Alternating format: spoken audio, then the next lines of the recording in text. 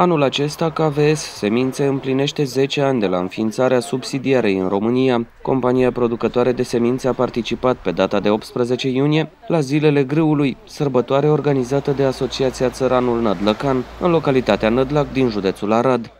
Mă bucur foarte mult că ne vedem astăzi aici, unde noi împreună cu firmele um, avem un jubileu, să spun așa, al grâului în zonă. Zona Nădlag, așa cum știți, este recunoscută ca și un mare cultivator pentru de grâu. Zilele grâului uh, sunt deja uh, foarte răspândite, să, uh, să spunem, în această zonă an de an se țin aici zilele grâului. Noi suntem prezenți și anul acesta cu două soiuri de grâu, uh, soiul nostru exotic, un soi aristat și soiul cubus, care este un soi nearistat mai tardiv. Anul trecut uh, exoticul a luat locul 2 în, uh, ca și producție și locul 1 ca și calități pentru panificație. Este un grup pe care fermierii din zonă îl cunosc foarte bine și pe care îl apreciază foarte mult pentru calitățile lui uh, de panificație.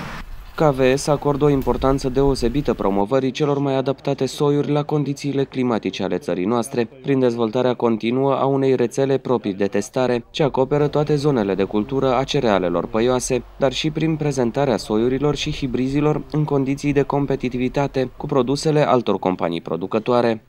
Pe aceste loturi s-au aplicat exact uh, aceleași tehnologii pentru toate firmele, pentru a putea fi comparate în uh, mod real calitățile și producțiile obținute la soiurile mm, ce au intrat în competiție.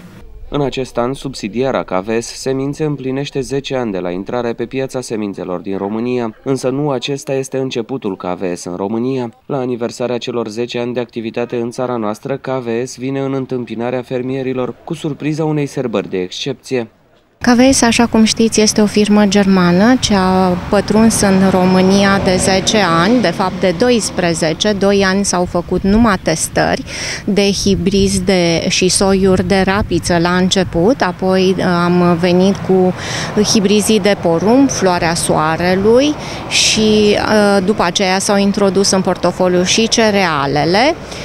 KVS uh, este o firmă în plină ascensiune, este o, locul 3 în în lume, loc pe care și noi îl menținem aici în România. Suntem o firmă ce vrem să dovedim calitatea produselor noastre, așa cum se știe, calitatea germană este mm, totdeauna recunoscută și noi sperăm că o ducem mm, foarte bine mm, pe culmile acestea. Cei 10 ani de activitate se vor serba în noiembrie, pe 29 noiembrie, când vom uh, deschide, se va începe cu deschiderea oficială a stațiunii de cercetare proprie. Și până acum KVS a avut o stațiune de cercetare, dar locația era închiriată. De anul acesta funcționăm în locația proprie de cercetare. Uh, după aceea, la Palatul Parlamentului, împreună cu toți colaboratorii noștri și fermierii noștri dragi. Vom serva cei 10 ani de participare al uh, companiei noastre pe piața internă de porumb și rapiță um, împreună cu dumnealor va fi un uh, spectacol și sperăm un eveniment de mare, mare amploare.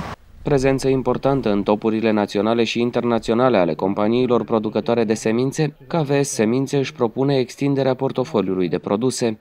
KVS pentru viitor își propune să-și mărească portofoliul de hibrizi cu hibrizii care sunt testați în România.